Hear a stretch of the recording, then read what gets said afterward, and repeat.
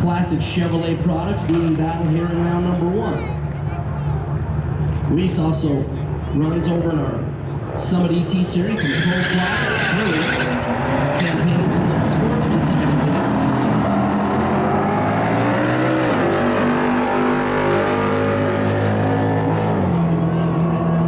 things. Steve Reese going to get a free sniff at 1140. He smells like 1141.